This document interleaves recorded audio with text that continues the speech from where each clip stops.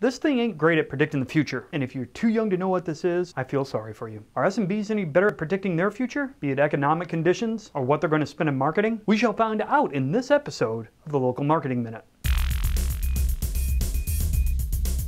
Corey's Local Marketing Minute is brought to you by iPublish Media. Increase new accounts and grow local ad revenue by delivering the types of campaign SMBs want to buy today. Learn more by visiting iPublishMedia.com or by emailing sales at iPublishMedia.com. And now, the shaman of local marketing, Corey Elliott. Hello, everybody, and welcome to this edition of the Local Marketing Minute. I want to say thank you to our new sponsor, iPublish Media. Well, I don't publish media. That's it's their name. Well, hopefully they don't regret their decision now. Okay, so we have a lot to get through in this minute, so we're going to move fast. So buckle up. Every couple of months, we ask our panel the same questions so we can trend the answers. And boy, it can reveal some things. We like to ask them what they think about the present economic condition as it pertains to running a small business. And what does the future hold? Is it going to get better? Is it going to get worse? Now, over time, you can lay these things on top of each other and understand how good they are at predicting the future. Let me show you what I mean.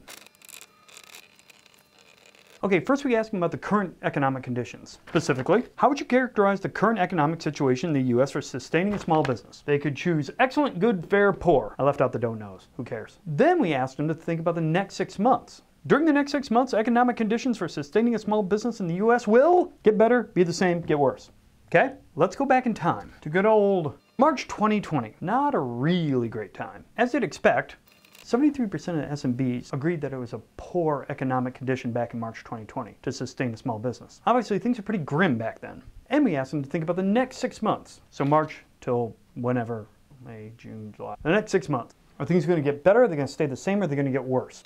71% said they're going to get worse in the next six months. 73% said it's poor now. 71% said it's going to get worse. So let's go forward in time to August 2020, six months later. I think I said that. So did things actually get worse? Same there. Good went from 5 to 14%. Fair went from 21 to 36. Poor went down from 73% to 48%. Still not great, but a lot better than this was indicating. This time frame is connected to this. So again, in August, we said, okay, what about the next six months?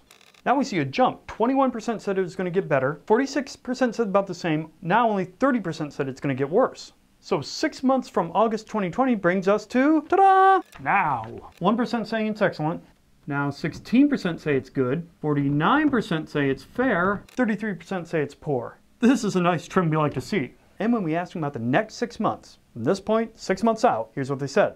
34% say it's going to stay the same, 20% say it's going to get worse. A year ago, things were dark, and they thought they were going to get worse. And though it's not back up to pre-pandemic standards, it is swinging better. There is optimism in the air. But what does this mean for the marketing plans? Only somebody would have asked that question. Just kidding. We also ask them, okay, thinking about the next six months, are you going to spend more, less, or the same as you did in the last six months? Here's what they said. Back in March 2020, remember? Dismal, right? 16% said they were going to spend more, 28% said they're going to spend the same, 52% said they're going to spend less. One out of two ish. Now, as we move forward to August, now half are going to spend the same, 20% are going to spend more, 27% are going to spend less. I know that doesn't add to 100, get off my back. And what about now? Well, same's jumped up to 61%, but more is up to 22%, and less is down to 15%. In fact, this number right here, this is right around the pre-pandemic average. That number's always been bouncing around 8 to 15%. The more got as high as 37% way back in 2017, but it usually bops around 30%. So there's hope. Things are getting better. Slowly, but they'll get there. Now, keeping all this in mind, well, not this is blank whiteboard. But keeping in mind what I just showed you, this last thing I want to share is pretty cool. We asked them an open-ended question. Didn't give them anything to choose from. They could write it in. What's on your mind related to advertising? And that's my picture of a brain. Top four answers on the board. Family Feud. We'll go backwards. Hopefully I've spaced it out right. Number four thing on their mind. Digital advertising. Changing their media mix. Isn't that interesting? Planning challenges, trying to understand what's going to come next. And the number one thing on their mind? Cost containment. Not surprising. So as advertisers look at the next six months, they're getting more and more optimistic, slowly but surely. It's taken a while. We're not quite back to pre-pandemic optimism, but we're a heck of a lot better than March 2020. And these are the four things on their mind. Cost containment, planning challenges, changing their media mix, and digital advertising. This is a pretty nice wave to ride to go talk to an advertiser right now, especially the ones that are feeling a little bit more optimistic than they did a year ago. They might be willing to try some stuff. Well, at least that's what I think. That'll do it for this minute. Am I a very handsome man? Piece of sh. You've been watching Corey's Local Marketing Minute, sponsored by our friends at iPublish Media. Learn more at ipublishmedia.com. And if a few minutes with Corey isn't enough, you can hear more of his insights on the Local Marketing Trends podcast. Just look for the podcast link on BorrellAssociates.com.